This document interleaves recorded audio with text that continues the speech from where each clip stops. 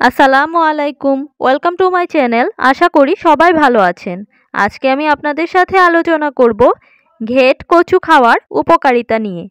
Ghetto কচু বা খারকোন একটি উদ্ভিদ প্রজাতি। অন্যান্য স্থানীয় নাম ঘের কচু ঘ্যাট উল, ঘেট কুল খারকান খারকন খানমান ইত্যাদি। রংপুর অঞ্চলে এটি চাম ঘাস নামেও পরিচিত।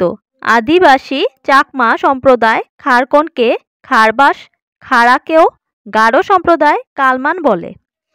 ঘেট কচু শাকের গাছের ডাটা লম্বা হয়। পাতা গাঢ় সবুজ রং, ডাটার রং কিছুটা খয়েরি। পাতা দেখতে তিন কোনা খাঁজ কাটা হয়। লাল রঙের ফুল হয়। ফুল দেখতে অনেকটা কলমের মতো। এটি চট্টগ্রাম, পার্বত্য চট্টগ্রাম, টাঙ্গাইল সিলেট এবং ঢাকায় পাওয়া যায়।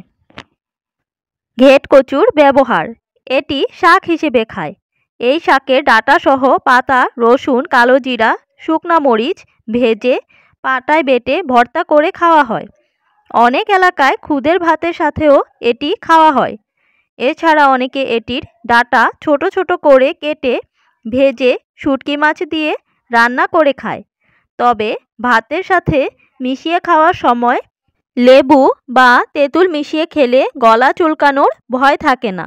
এছাড়াও কুচি কুচি করে কেটে রসুন, পেঁয়াজ, তেল ইত্যাদি দিয়ে দীর্ঘক্ষণ অল্প তাপে জাল দিয়ে শাক হিসেবে খাওয়া হয়। ঘেট কচুর ঔষধি গুণাগুণ। ঘেট কচুর ঔষধি গুণাগুণ জেনে নেওয়ার আগে সবাইকে রিকোয়েস্ট করছি প্লিজ আমার চ্যানেলটি সাবস্ক্রাইব করবেন এবং বেল আইকনটি প্রেস করে রাখবেন। তাহলে চলুন, জেনে নেওয়া যাক ঘেট কচুর ঔষধি গুণাগুণ ও স্বাস্থ্য উপকারিতা।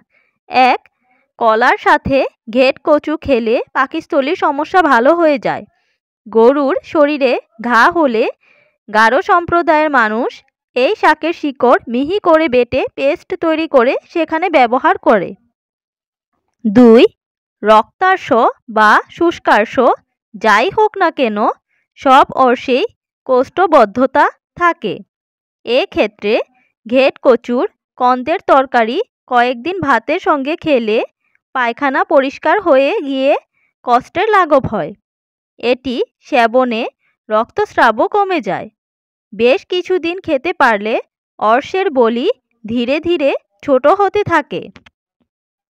তিন, পেট ব্যথা অবশ্য তা অম্বলের জন্য নয়, এর কারণ হিসেবে দেখা যায় যে দাস্ত পরিষ্কার হচ্ছে না।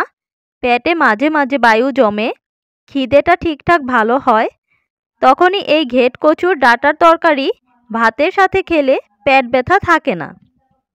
চার, যেসব পোড়া খুবই শক্ত হয়, পাকে না, আবার বসেও না সেক্ষেত্রে ঘেট কচুর কন্দ বেটে গরম করে প্রলেপ দিলে ভালো কাজ হয়।